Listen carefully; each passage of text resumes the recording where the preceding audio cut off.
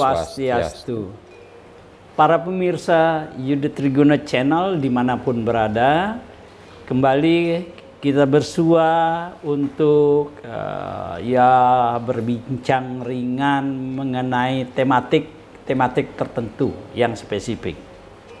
Hari ini kembali saya menghadirkan narasumber Dr. Iketut Rupawan, seorang pensiunan guru, kemudian dia juga seorang ahli elektro, ia penekun agama Hindu. Tematik penting yang acap kali juga kita dengar, kita lihat di sekeliling kehidupan kita adalah Garuda dan naga. Ada begitu banyak bangunan-bangunan suci Hindu dihiasi dengan burung Garuda. Garuda. Juga dihiasi dengan naga. Malahan tidak hanya pada bangunan suci. Kerajinan tangan, souvenir, Betul. juga banyak bermotifkan Garuda dan bangunan lain yang juga berisi hiasan naga. Malah di suatu desa di Gianyar itu ada khusus satu desa yang terkenal dengan produk Garudanya. Oh, ini. Jadi artinya apa? Artinya bahwa masyarakat Bali yang mayoritas beragama Hindu itu sangat familiar dengan Garuda dan naga. Mari kita bahas. Biar yang menjelaskan adalah Bapak Dr. Iketut Rupawan. Sukses semua Pak Ketut. Om ya, Swastiastu. Om Swastiastu. Uh, apa sesungguhnya arti penting dari burung Garuda dan naga dalam masyarakat Hindu di Bali? Terusan. Ya. Sukses semua Tuh Haji. Iya. Yeah. Uh, para pemirsa Yuda Triguna Channel yang berbahagia di mana pun berada. Kembali kita bertemu dalam acara yang uh, bagus sekali untuk mengungkap ini eh, hal-hal uh, yang terpenam dalam budaya Hindu di Bali maupun di mana pun uh, berada. Enggak Tuh Haji, memang pada kenyataannya kita di Bali khususnya uh, motif hiasan naga dan Garuda hmm. ini selalu berpasangan. Nah, biasanya berpasangan. Memang jarang dipisah. Hmm. Nah, uh, bangunan-bangunan suci, nah ini khusus dulu bangunan suci, hmm. selain nanti bangunan yang kurang suci berupa hiasan misalnya, bangunan suci yang bisa dilihat yang menggunakan motif naga dan ya. garuda yang selalu berpasangan ini mungkin seperti dulu dalam siaran sebelumnya uh, sudah pernah kita ungkap suatu bangunan pasti ada uh, apa ornamennya. Hmm. Nah sekarang kita bahas masalah garuda dan naganya. Hmm. Nah bangunan-bangunan yang dapat diamati yang berisi motif naga dan garuda. Hmm. Misalnya, uh, bangunan pelinggih Padma Sana. Hmm. Ini Padma Sana yang kembali pepalihannya pepalihan tujuh atau pepalihan lima. Hmm. Paling nah, lima. Ya, uh, pepalihan uh, apa uh, undangan, undangan ya. uh, bangunannya itu. Hmm. Kalau tiga biasanya tidak berisi. Hmm. Ya, sangat jarang ditemui itu. Nah, bangunan seperti Padmasana juga bangunan pelingih dasar tuh. Hmm. Nah, itu biasanya kalau naganya di depan, di bawah, ya. garudanya biasanya di belakang. Hmm. Di belakang e, bangunan pelingih itu. Nah, bangunan suci lain bisa pada badai ya Tuh Haji. Kembali hmm, kita ya, jumpai ya, ya, pada ya, badai. Ya. Yang pepalihannya lengkap seperti Ya. tadi lima atau tujuh paling Ya. atau eh, apa hiasan-hiasan lain yang berfungsi sebagai penunjang upacara. Misalnya kober, Tuan Haji. Hmm. Kober, sebuah bendera Ya. dalam tradisi Bali Hindu, Hmm. itu berisi lukisan Garuda. Hmm. Kemudian umbul-umbul. Ya. sebuah bambu yang tinggi menjulang, Ya. diisi kain. Ya. Nah, kainnya inilah yang dihiasi dengan lukisan Garuda. Hmm. Nah, di pihak lain, pada pelingih peselang, Ya. nah, pelingih peselang yang umumnya di pura di Tenggara itu tempatnya, bah di plafonnya itu biasanya ada juga lukisan naga, kalerau, bulan. Nah, Hmm. itu terkait eh, dengan mitos Ya. atau cerita suci. Ya. Nah, jadi misalnya ada kober, Ya. ada umbul-umbul. Ya. Nah, biasanya umbul-umbulnya tiga warna. Ya. Ada hitam, putih, merah. Nah, itu bermakna ketiga eh, naga yang tergambar di sana, Tuan Haji. Ya. Eh, Ya. nah, dasarnya tentu ada pertanyaan, mengapa umat Hindu menggunakan Garuda. gambar-gambar itu? Dan naga. Naga, betul. Nah, kembali kita akan berbicara tentang mitos, Hmm. mitologi. Bahwa, oh kok agama Hindu itu agama mitos? Bukan begitu. Hmm. Mitos itu cerita suci ya Haji, yang bisa menuntun pikiran kita untuk meyakini Sesuatu. ajaran, terus khususnya ajaran agama Hindu. Hmm. Berjenjang melalui mitos cerita suci inilah secara berjenjang umat Hindu diajarkan eh, tatwa. Hmm. Jadi teologi khususnya ilmu ketuhanan. Jadi bertahap seperti naik tangga. Hmm. Nah, dalam mitologi pemutaran Mandaragiri, ya, kembali, Kembali. Ya. Ya. setelah Tirta Amerta didapatkan dari pemutaran eh, lautan susu dengan Gunung Mandara ini, sekarang naga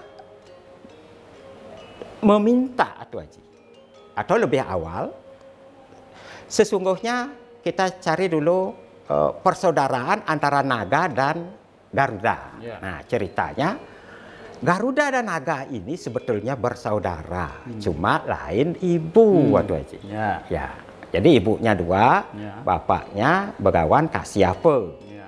Ibu para naga adalah eh, para naga ini eh, sang kadru, Hmm. para naga. Ya. Ibunya eh, Garuda adalah sang Winate. Ya. Nah, ini. Jadi saudara satu ayah, dua ibu. Nah, suatu hari ketika pemutaran Mandaragiri itu akan muncul kuda once serawe, ya, uceh serawe. Kalau bahasa Bali oncer serawe itu disebut. Akan muncul kuda katanya. Ini sang kadru dan sang winate ber ya apa berdiskusi saling menebak Ya. apa warna bulu Kuda. ini. Ya. Nah, sang winate menebak putih Hmm. warnanya. Sang kadru menebak hitam. Hmm. Tetapi muncullah kuda oces rawe yang sebetulnya warnanya putih, Putih. Tetapi karena rekayasanya sang kadru bersama anak-anaknya para naga ular yang berbisa ini disemprot itu dengan bisanya Ya. menjadi hitam. Hmm. Sehingga sang kadru menang dalam pertaruhan ini. Hmm. Sang Winate kalah. Ah, di sinilah eh, sang Winate Winate menjadi budak budak sang kadru. Aduh. Nah, dengan demikian sampai menurun ini perbudakan ini kepada anak sang Winate yaitu sang Garuda. Tuh. Hmm. Sang Garuda harus mengabdi pada sang kadru dengan memomong anak sang kadru yaitu para naga seribu ular. Bayangkan Atu Haji. Berat lah. nah, Ya. tentu sekarang karena payah Sang Garuda berbicaralah pada para naga di sini. Apa yang bisa saya lakukan supaya terbebas dari Dari perbudakan, perbudakan ini ya. gitu.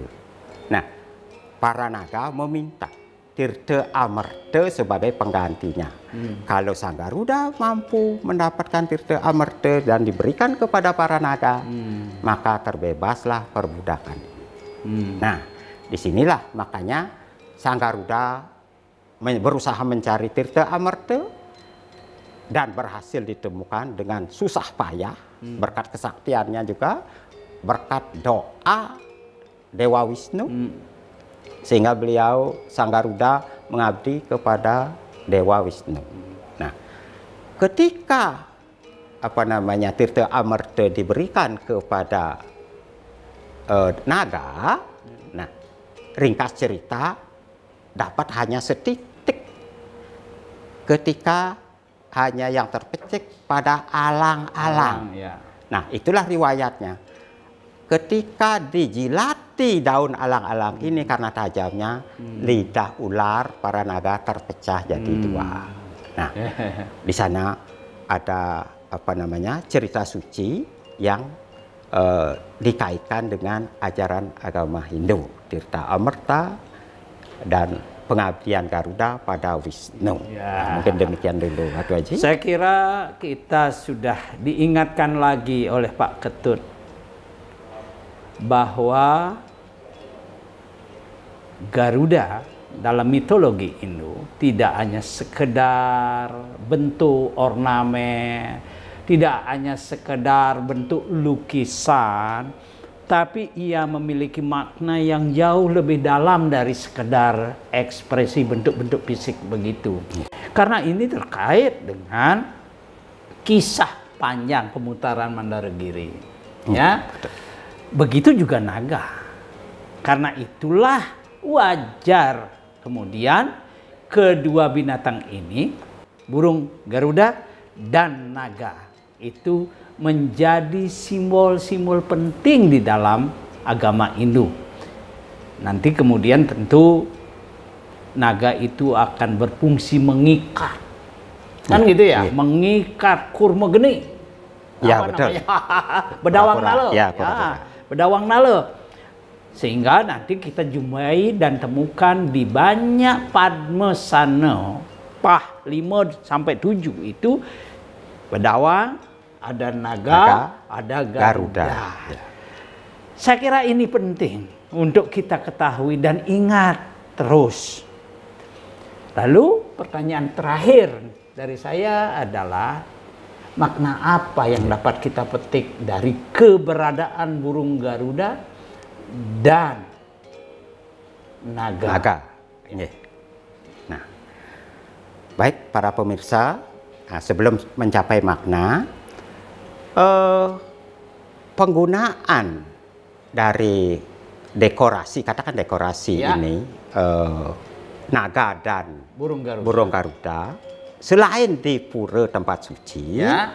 kini kita karena sudah memasyarakat sekali di Bali khususnya, itu kita jumpai pada barang-barang yang terkait dengan pewongan dan pelemahan Atu Haji. ya, ya. Kalau tadi simbol suci ini di Pariangan kita temukan pada area Paumahan. pawongan, paumahan dan palemahan juga Ditemukan. ditemukan.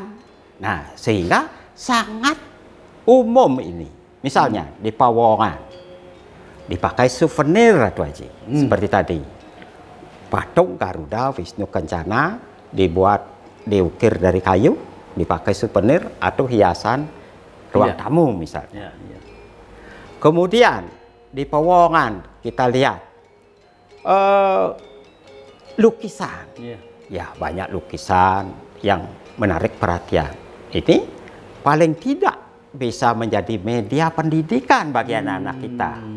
Bahwa lukisan yang berisi Garuda dan, dan naga itu mengandung cerita suci, mitos dengan mitologinya itu. Ya. Nah, bagaimana dengan pelemahannya? Ya. Nah, misalnya di Gianyar saya temui di Semobaung misalnya.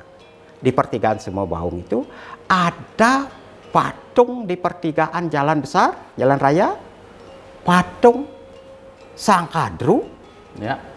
disangga oleh seribu naga tuh Haji. Tiga naga pemimpinnya itu sebagai pemimpinnya dari seribu naga yang bersaudara ada tiga pemimpinnya Ananta Boga, Basuki dan yang bersayap naga Taksaka. Saka. Nah ini terkait ini Ya. eh, mitologi tadi. Ya. Nah lanjut tentu kita dengan cerita-cerita ini kita umat Hindu secara berjenjang kembali. Melalui mitologi kita harus mendalami ajaran Hindu sebelum mencapai atau mempelajari Weda. Hmm. Nah, itu disebutkan dalam eh, apa namanya? kitab suci Sara. Samusaya, Ya. ya. Sebab katanya Weda sangat takut pada orang-orang yang pengetahuannya sedikit. Oleh karena itu, untuk mempelajari Weda berjenjanglah Ya, mulai dari tingkat ya Purana, Purana, Itihasa, ya. ya. barulah sampai ke atas. Ah, Ada demikian makna yang bisa Baik, kita para pemirsa yang budiman, ternyata dengan semakin populernya